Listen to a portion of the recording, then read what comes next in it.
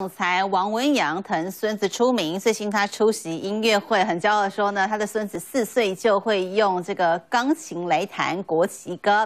而这回说的孙子呢，其实不是儿子王全仁还有蚂蚁的小孩，而是他女儿王思涵的儿子。身价两百亿的王思涵，现在带着儿子陪在王文洋左右，甚至呢，外孙比内孙还黏。因为他喜欢去，呃，国父纪念馆看那个呃卫兵。哎，所以他就把国际歌写下来，就他就会弹国际歌，对。四岁，四岁，四岁，对。红人集团总裁王文洋出席慈善音乐会，聊起孙子，语气满是骄傲，即便是赶场也要含饴弄孙。我今天早上去李登辉的那个那个告别式嘛，然后回家刚好。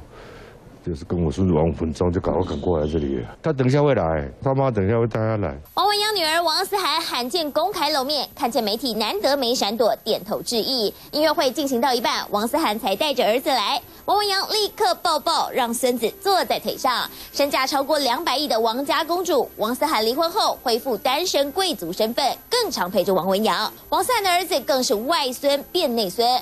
王文阳乐得有女儿和孙子陪伴，但王家家族纷争还没完。王文阳的弟弟王文祥喊话要回台塑集团。我看到晋州高的封面，我吓一跳。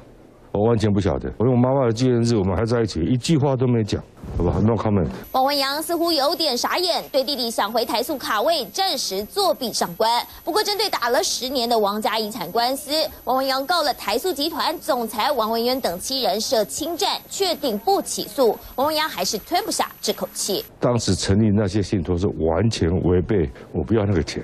我要钱做什么用？强调不是争产，但经营之神王永庆过世多年，家族从财产分配到集团人事，依旧受各界关注。三十人代表。